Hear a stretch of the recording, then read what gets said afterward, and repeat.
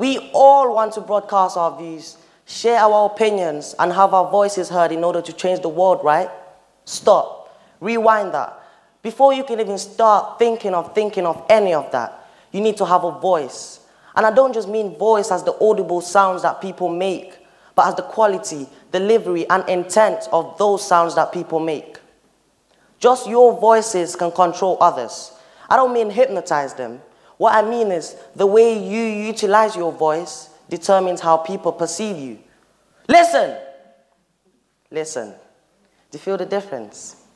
Seven seconds. Research shows that seven seconds is all it takes to gain or lose someone's trust and credibility. How does this work? How is that possible, right? It's all about tone, pitch, loudness, and inflection of your voice. These are the factors that tell if the listener is going to trust you or not. Interestingly, a study shows that 75% of women were more inclined to have short term relations with men who had deeper voices.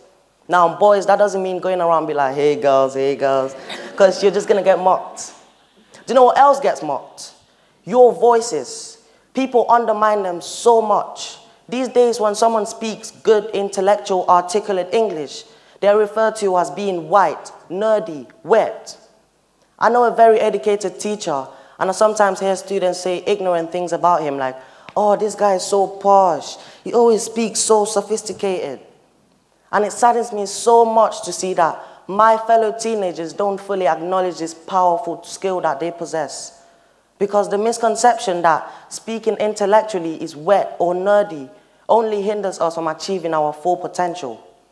We all want to be successful, right? Raise your hand if you want to be successful. We all do. I want to be successful. And we have role models that we look up to. Tell me, is your role model shy to speak?